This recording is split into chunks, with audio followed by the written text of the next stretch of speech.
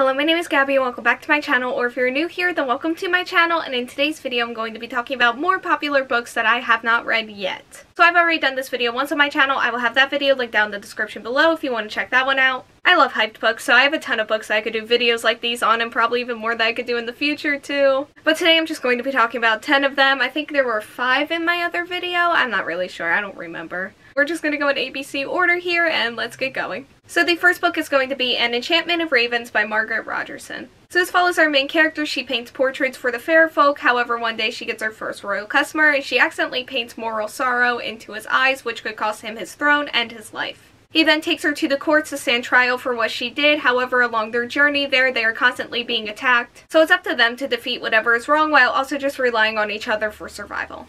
So my original plan was to read this book before Sorcery of Thorns came out. That did not happen. But I ended up loving Sorcery of Thorns. I gave it 5 stars, and I do want to go back and read this one eventually. I do love books with like fake creatures in them, and at the time I bought this, I was like looking for more books like that because I had just started reading again. So this was one of the first ones that I ended up picking up and buying because of that, but also I didn't end up reading it because I read The Folk of the Air instead. Which I have no regrets about that because I love that trilogy. It's one of my favorite things ever, but it did end up hurting this book a little bit because I haven't read it yet and it's been like over a year. I do plan to hopefully get to this pretty soon. I do think it's going to be like a quick read. I'm pretty sure there's been like some talk about insta-love in this book, which does make me really nervous, especially since I have enough trouble like finding book couples to ship to begin with, let alone if there's insta-love involved. But everything else about this, I'm super excited for, so hopefully it doesn't let me down. So the next book is Legend by Marie Lu.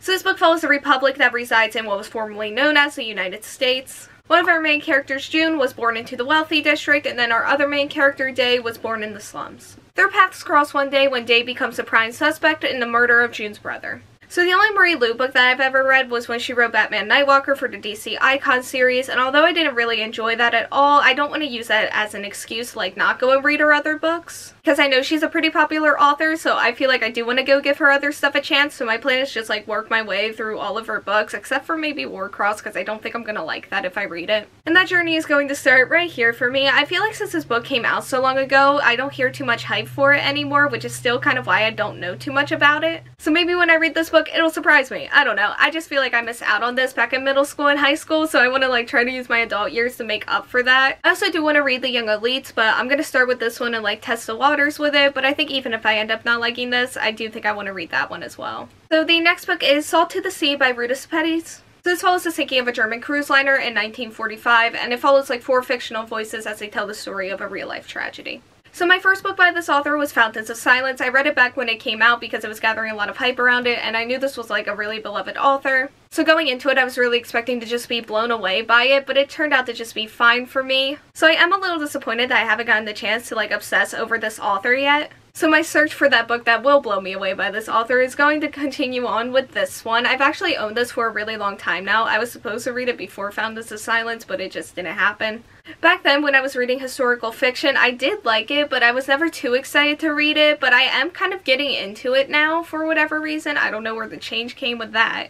So I feel like waiting to read this actually is probably going to work out for me in this case, and this was a book of hers that actually really stood out to me when I first heard the plot for it. But if I end up not liking this one, my plan is to read all this author's books until I find one that sticks because I really want to feel what other people feel when they read this author's writing its stories, and it just hasn't happened yet, but because of the plot of this one, I really think this is going to be the one that does it for me. So my hopes are really high that this is going to be that book for me, but if not, there's still Between Shades of Grey. I know that one's really beloved too, so I'll have that as backup. So the next book is Simon vs. the Homo Sapiens Agenda by Becky Albertalli. So this book follows our main character Simon, who is not openly gay. However, one of his emails gets into the wrong hands and he ends up getting blackmailed into playing wingman for the class clown, or else his secret and also the privacy of the boy he was emailing will be exposed. Well, something about Becky Albertalli's books make me nervous. I know they don't always get the best reviews, although this one does seem to be an exception to that. I mostly want to read this because I do want to actually watch the movie one day, but it also just seems like a contemporary that I should be confident in because even if I didn't know that this book had all this hype around it, it does seem like a plot that would interest me anyway. Which I do have a lot of trouble with contemporary, so if one can get me to read it without any hype around it, it's probably a good sign. This does feel like another one of those books that if I just picked it up and read it already, I probably would fly through it, but it just hasn't happened yet.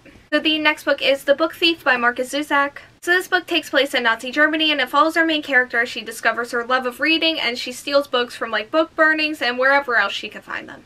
However, her world becomes opened up, but at the same time it gets closed down when her family takes in a Jewish man and hides him in their basement. So this was my favorite movie for a really long time when I was younger, and it still kind of is one of my favorites. Like, I have really fond memories of it, but and then again, that memory has slipped as the years have gone by. That's why I feel like I'm at a good point to, like, read this in book form and just, like, revisit the story and my love for it. So the main reason I haven't read this book yet is because I did watch the movie first, so if I read this and ended up liking it more, I didn't want it to like destroy my memory of the movie. But I do hope to get to this very soon and maybe read some of this author's other stuff too, and also maybe watch the movie because it's been a while. So the next book is The Fifth Season by N.K. Jemisin. This book follows our main character. She is trying to find her family in like an apocalypse situation where the earth is dying and very deadly. Ever since I first heard about this trilogy, I knew I had to read it, but back when I was going to bookstores, I would always look for it and I could never seem to find it, so eventually I just gave up and ordered it online. In hindsight, that's maybe what I should have done in the first place. It would have made everything just a whole lot easier, and also maybe this book would have been read by now if I had done that. There have been so many points where I just look over to my shelves and I see this book sitting there unread, and it just makes me want to clear everything off of my TBR just focus on this, but I've been good and I haven't done that yet. I did kind of mention this in the synopsis, but it's like end of the world and apocalypse which I always find really interesting, and most of the time I end up really enjoying it when I read that kind of stuff. But yeah, this particular book just sounds right up my alley. Like, imagine if I didn't end up liking this. Like, I don't even want to think about it. Because I've just been hyping up this book in my head for like way too long for that to happen to me at this point. So the next book is The Goldfinch by Donna Tartt. It's kind of heavy. I feel like I need to hold it with two hands. This book follows a 13-year-old boy after he survives the accident that killed his mother. His father abandons him and he goes to live with like a wealthy family. It is there that he gets drawn to this painting that reminds him of his mother and then he gets introduced to like the underground world of art. And when he gets older, this will involve him in like a dangerous circle. So what made me want to pick up this book originally was a movie trailer for some reason that just made me really want to read this. So now I'm sitting here with a 700 page literary fiction book that kind of looks like it could be 500 pages, but it isn't. But I definitely do want to read a Donna Tartt book eventually, and this one does interest me more than The Secret History does, so as soon as it stops intimidating me, then hopefully I'll have a good time with it. So the next book, and I feel like this might be the most popular out of all the books on this list, but it is The Hunger Games by Suzanne Collins. And I feel like a lot of you know what this is, but just in case you don't, I'm going to give a synopsis anyway. So this book follows a nation that is ruled by the Capitol, and the Capitol forces people from ages 13 to 18 to participate in the Hunger Games that will be live streamed on TV. When Katniss first takes her sister's place in the game, she expects it to be like a death sentence situation. However, when she becomes an actual contender to win, she must start making decisions that could go against her humanity and her heart. So this book has just been like insanely popular for a really long time, but I remember it being like even more popular, if that's even possible, back in middle school. Back when the movies were coming out, and I didn't watch the movies when they first came out, but I did watch them a couple years ago, and I did end up enjoying them. ever since I watched them, I did want to go back and read the actual books because I missed out on that when I was a kid. But I haven't yet because I guess I just never fully committed to that idea. Like, I just got these in the mail yesterday. But what did finally make me obtain these books is that the prequel just came out and I know it's getting like mixed reviews. But there was still like a lot of talk about it and like I said, I love hyped books so whenever something gets talked about it makes me want to go read it. Also just the concept of the Hunger Games in general has always really interested me and I know there's a love triangle in here and I don't typically like that but since I already watched the movie she does end up with the person that I wanted her to so I should be good to go here. I do tend to get mixed emotions about dystopians. It's kind of like how I feel about urban fantasy, where I have books that I love from that genre, but I just can never get myself excited to read it. I don't see that being an issue here because I feel like literally everyone and their mother has read and loved this book series. And I do want to be a part of that eventually, I just gotta find the time out of like the 10 million other unread books that I have on my shelves to finally read this. So this next one is actually going to be a poetry collection and that is The Mermaid's Voice Returns in this one by Amanda Lovelace. So this looks like it focuses on empowerment, escapism, and healing, and when I read some reviews, I also found out that it focuses really heavily on like sexual assault and the Me Too movement, which all sounds really good for me, like I'm down, but let me just give you a rundown of my journey with Amanda Lovelace books. I read The Princess Saves Herself in this one. I really liked it. Four stars. I read The Witch Doesn't Burn in this one. That almost got a one star. I did not like that at all. And then I read her How to Make Monsters Out of Girls, and I did not like that either. I think I maybe gave that like a two and a half, maybe a three, maybe a two. I don't really remember. And if I end up not liking this one, it will probably be my last Amanda Lovelace book. That's why I haven't read this book yet, but I still do want to give it a chance because of how much I did end up liking the first book. And then when I do finish this book, I will probably finally have confirmation about what my thoughts are on this author, unless I end up liking this, which is the best case scenario, don't get me wrong, but honestly at this point it would probably just make me more confused about this situation. Probably the next time I like bulk read a bunch of poetry, I'll just throw this in there and I'll see what I think then.